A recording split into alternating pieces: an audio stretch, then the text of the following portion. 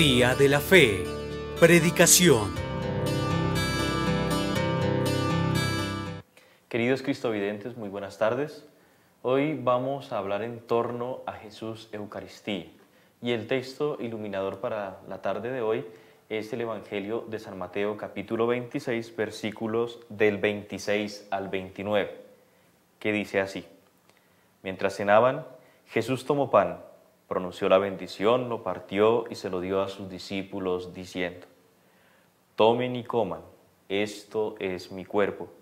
Tomando la copa pronunció la acción de gracias y se la dio diciendo, Beban todos de ella, porque esta es mi sangre de la alianza que se derrama por todos para el perdón de los pecados. Les digo que en adelante no beberé de este fruto de la vid hasta el día en que beba con ustedes el vino nuevo en el reino de mi Padre. Palabra de Dios, te alabamos Señor. Para hablar de Jesús Eucaristía, pues necesitamos eh, remitirnos a la última cena donde Jesús se reunió con sus discípulos, dando gracias primero por la fraternidad. Recordemos que en la fracción del pan es el lugar donde se reconoce al amigo, al cercano, al compañero. No siempre invitamos a comer a nuestra casa o a cenar a nuestra casa a un desconocido, sino a aquel que es cercano. Por eso cuando nos acercamos a Jesús Eucaristía, nos acercamos a recibirlo para que sea nuestra fuerza, la fortaleza que necesitamos cada día para seguir adelante. Por eso la Eucaristía no es una obligación. La Eucaristía no es simplemente un cumplir una norma, sino que la Eucaristía es la necesidad de todo católico de recargar las baterías, de acercarse a escuchar a Dios a través de su palabra y dejarse enamorar por el Señor en la mesa de la Eucaristía junto al pan y al vino, donde nosotros recobramos la fuerza para seguir adelante. En este caminar, Jesús quiere quedarse con nosotros y en estas dos especies siempre nos va motivando. Cada vez que comulgamos, Estamos recordando el amor de Dios para con cada uno de nosotros en nuestros hogares, en nuestro trabajo. A finalizar la Eucaristía siempre se dice, pueden ir en paz. Y es la paz del corazón la que debemos llevar y hacer vida en medio de nuestros hermanos, en medio de nuestra familia. Yo no puedo decir que he estado en la Eucaristía si no amo y no perdono a las personas que están a mi lado. No puedo decir que yo amo a Dios cuando maltrato la creación y cuando maltrato la obra del amor de Dios que son mis hermanos, que fueron creados a obra y semejanza de Dios. También Jesús Eucaristía siempre nos espera con los brazos abiertos en la capilla del sagrario en nuestras parroquias. Allí es el lugar donde nosotros nos acercamos a orar para recordar a Jesús en Hexemaní, donde ponemos nuestras necesidades y nuestra acción de gracias en las manos de Dios y allí recordamos que Él es aquel que nos lleva a ser la voluntad de Dios nuestro Padre, a saber dar la vida por las personas que amamos, por aquellos con los que compartimos, con los que trabajamos, con los que vivimos, aquellos que a veces nos pueden causar dolores de cabeza, incluso aquellos que a veces hablan mal de nosotros, que les cuesta darnos una segunda oportunidad. Allí está Jesús listo para actuar, para que reconozcamos en la humildad de nuestro corazón que necesitamos del amor de Dios. Jesús Eucaristía quiere venir a cada uno de nuestros corazones y de nuestra vida si somos capaces de tener la sencillez de decirle a Dios nuestro Padre que le necesitamos. Y en este tiempo de gracia y salvación en el cual estamos iniciando un año nuevo, debíamos iniciarlo con la bendición de Dios, de Dios que se hace presente en la Eucaristía, aquel regalo. Por tanto, debemos nosotros recordar que así como los reyes de Oriente ofrecieron oro, incienso y mirra a Jesús recién nacido, querido hermano, ¿tú qué tienes para ofrecerle al Señor desde tu corazón? ¿Qué tienes tú para ofrecer de tu vida a Jesús recién nacido para que transforme tu corazón y tu vida?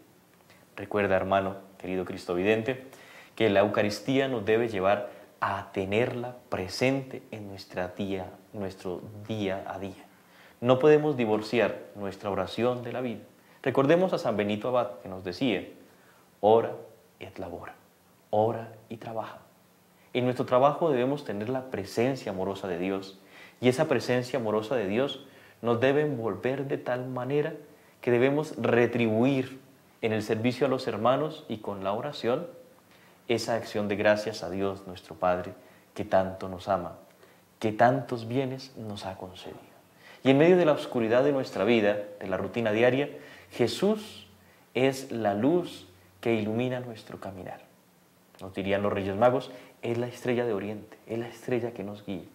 Jesús es la estrella de luz que nos lleva a unirnos íntimamente con Dios nuestro Padre.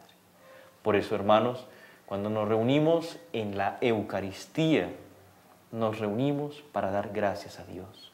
Y cuando rendimos culto a Jesús Eucaristía en la exposición del Santísimo o vamos a los agrarios a orar, debemos recordar que el tesoro más grande es Jesús Eucaristía, porque es el tesoro de la paz, el tesoro del amor que Dios nos ha querido dar y con el que ha querido quedarse en medio de nosotros. Es un tesoro, diría San Agustín, siempre nuevo y antiguo, porque desde muchos años atrás está presente en medio de nosotros, persiste en nuestra vida y se traslada hacia el futuro, donde nos invita a tener esperanza, a ir manejando mejor nuestra existencia. Y a recordar que así como Jesús con sus discípulos se reunió para compartir el paso a la vida, para compartir la amistad, para reunir la vida en familia, nosotros en la Eucaristía cada día estamos llamados a reunirnos en una gran familia que es la familia de la Iglesia. Por eso, querido Cristo vidente, no seas indiferente cuando entras a una iglesia. Busca primero al sagrario y allí saluda a Jesús, que es nuestro Señor aquel que nos ha dado todo cuanto tenemos. A mí me gusta cuando voy a visitar a Jesús Eucaristía, recordar y recitar la oración de San Francisco de Asís, que dice, Oh alto y glorioso Dios, ilumina las tinieblas de mi corazón, dame fe recta, esperanza cierta y caridad perfecta, sentido común y conocimiento, Señor, para que cumpla tu santo y veraz mandamiento. Amén. Porque en esta oración se resume nuestra experiencia de fe. Amar a Dios y al prójimo como nos manda la ley. si miramos los diez mandamientos, nos remiten al amor. Y el mayor amor, que nos dice el texto de San Mateo, es la alianza nueva y eterna que Jesús ha hecho con nosotros. Dio su vida por ti y por mí en la cruz. Jesús es aquel que lo contemplamos en el pesebre, pobre y desnudo, indefenso. Y luego lo contemplamos también pobre, desnudo y indefenso en el madero de la cruz. Sin embargo, Él ha querido resucitar para darnos una vida mejor, una vida que es fortalecida en la vivencia de la Eucaristía, donde nos acercamos a comer de un mismo pan y a beber de un mismo cáliz. Que sea el Señor Jesús aquel que poco a poco vaya tocando en nuestro corazón la necesidad de ir en familia. A veces nos preguntamos por qué nuestras familias no están unidas. Y la respuesta está en que ya no rezamos unidos. Recordemos lo que decían nuestros mayores, familia que ora unida, permanece unida. Y al mismo tiempo, a veces decimos que nos cuesta mucho el perdón, que nos cuesta decirle al hermano que le damos otra oportunidad. Recordemos a Jesús en la cruz cuando dice, hoy estarás conmigo en el paraíso al ladrón arrepentido. Jesús siempre busca la misericordia y el amor para cada uno de nosotros. Y la mayor muestra y prueba de esa misericordia está en que Él se quiso quedar con nosotros en el misterio de la Eucaristía, que es el misterio del amor de Dios. Cuando hayan dificultades, cuando nos asalte la duda, acerquémonos a Jesús Eucaristía y oremos como nos dice San Agustín. Yo le miro y Él me mira. No necesitamos muchas palabras para orar con Jesús. Dejemos que Él hable a nuestro corazón. Abramos el espacio desde el silencio para que sea el Señor aquel que vaya transformando nuestra vida y nuestra existencia. Qué bueno que si nosotros quisiéramos cambiar nuestra sociedad, que si quisiéramos cambiar nuestras familias, Recordemos que debemos cambiar primero nosotros desde nuestro interior, desde nuestro corazón, a través de la oración y de la vivencia integral de la Eucaristía, aquella que nos lleva a ser vida, a ser esperanza y a ser luz para nuestros hermanos. Y tú, querido Cristovidente, que estás enfermo, que no puedes ir a la celebración de la Santa Misa, pues recibe siempre con amor al ministro de la Eucaristía cuando llegue a tu casa a llevarte a Jesús, que sale a tu encuentro y que te fortalece en medio de la enfermedad. Que de pronto estás enfermo y en tu parroquia no te visitan en tu casa, pues hombre, avísale al párroco que estás enfermo, que no puedes ir, para que alguno de los ministros de la Eucaristía o el sacerdote te visite. Porque a través de la Eucaristía Jesús sale a nuestro encuentro. Y cuando comulgamos, recibimos la gracia de Dios que nos lleva a tener la paz del corazón y la fortaleza para seguir adelante. Es como aquella planta que necesita del agua. Cuando tú no roceas, cuando no echas agua a las plantas de tu casa, pues comienzan a secarse, a deteriorarse. Y lo mismo nos pasa en la vida espiritual cuando abandonamos a Jesús Eucaristía. Decimos si queremos hacer la voluntad de Dios y terminamos haciendo nuestro capricho. Decimos si queremos ser felices y construimos es nuestra amargura. Por eso debemos en el sagrario depositar allí frente a Jesús toda nuestra vida para que Él sea el que transforme nuestra vida y nos llene. Qué bueno que cuando nos acerquemos allí a Jesús Eucaristía, en la exposición al sagrario, en la consagración o en el sagrario, pudiéramos nosotros recordar la oración del publicano. Señor, ten piedad de mí que soy un pecador. Reconocernos humildes y necesitados de la gracia de Dios nuestro Padre en el transcurso de nuestra vida y de nuestra existencia. Y tú, querido joven cristovidente, y tú, querido niño, tu querido papá, mamá, abuelo, recuerda que lo que nos hace familia es saber amar y entregar la vida como lo hizo Jesús en el madero de la cruz. Es saber ofrecer en el santo sacrificio de la Eucaristía nuestra vida, nuestra acción de gracias, nuestro trabajo, nuestro compartir. Queridos hermanos, que este año que estamos iniciando nos lleve a poner en las manos de Dios el año que pasó y poner en sus manos también este año que iniciamos, con nuestros sueños, con nuestras esperanzas. Dejemos a un lado tantos agüeros y pongamos nuestra fe en Dios nuestro Padre. Dejemos a un lado tantas supersticiones y pongamos la fe en Jesús Eucaristía que Él todo lo puede. Que Jesús sea aquel que vaya pronto entrando, transformando y modelando nuestro corazón para que podamos nosotros ser, como dice San Francisco, instrumento de paz para nuestros hermanos. Que el mismo Jesús que recibimos en la Eucaristía sea aquel que nos lleve cada día más a buscar la necesidad de orar la necesidad de encontrarnos con Jesús en la intimidad y por tanto la necesidad de saber encontrar cara a cara al hermano como es. No como nosotros queremos que sea, sino como es, con sus caprichos, con sus enojos y aprender a amarlo, porque así nos ama el Señor. Él es muy transparente con nosotros.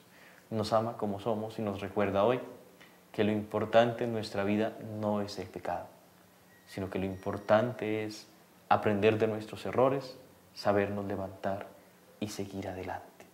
Por eso Él siempre está con los brazos abiertos, esperándonos en cada una de nuestras parroquias. Allí en tu parroquia está Jesús en el sagrario esperándote. Te convoca para poder darle gracias en la celebración de la Eucaristía. No lo desprecies, no lo busques solamente cuando necesitas algo. Siempre ten la presencia amorosa de Jesús que sale a tu encuentro. Igualmente, debemos recordar que esta presencia amorosa del Señor es el que nos lleva a sentirnos discípulos misioneros del Señor. Y el primer misionero eres tú en tu casa, donde debes comenzar con tus actitudes a mostrar las actitudes de Cristo el Señor.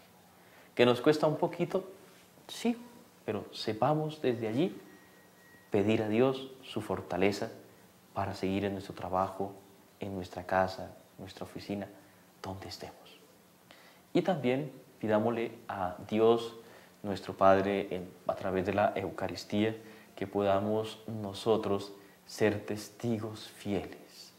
Y cuando recordamos a los mártires o a los santos, recordamos a aquellos que fueron capaces de dar la vida por, por el Señor Jesús. Qué bueno que nosotros seamos también testigos fieles de ese amor de Dios, tratando de hacer el bien, practicando la misericordia y tratando también de descubrir en el hermano el rostro de Jesús que sale a nuestro encuentro. Un Jesús que es bondadoso, un Jesús que nos dice que nos perdona, un Jesús que quiere curar nuestros corazones heridos por el odio y la venganza. Un Jesús que nos llama hoy a ser testigos de la esperanza. Recordemos que el Papa nos invita a ser misioneros. El Papa Francisco nos invita a ser misioneros, a recordar la alegría del Evangelio en nuestra vida, a recordar que Cristo es el buen pastor que nos toma sobre sus hombros y nos lleva al encuentro con el Padre.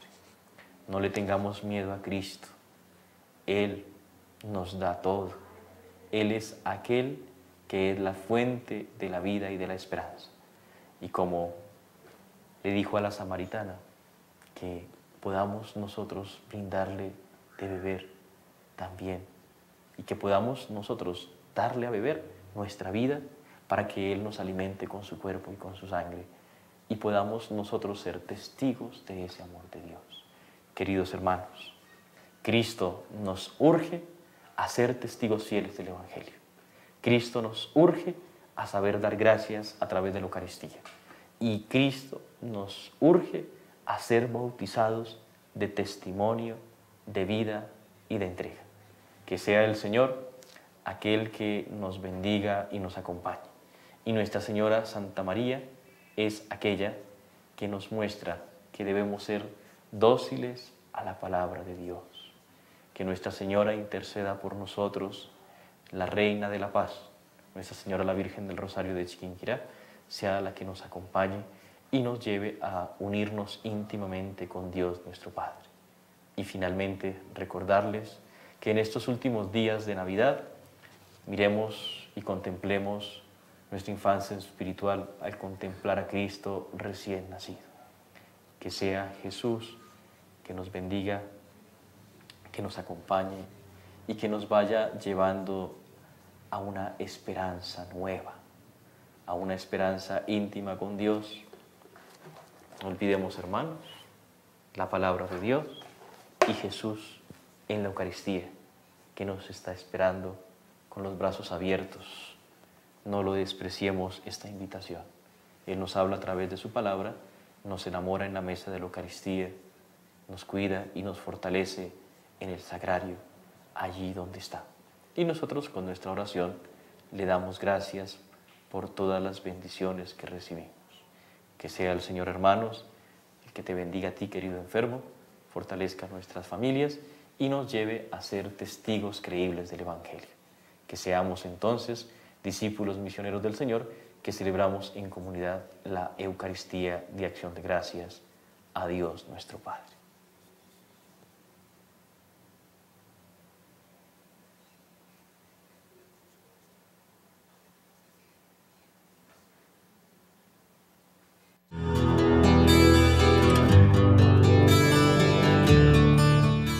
De la Fe.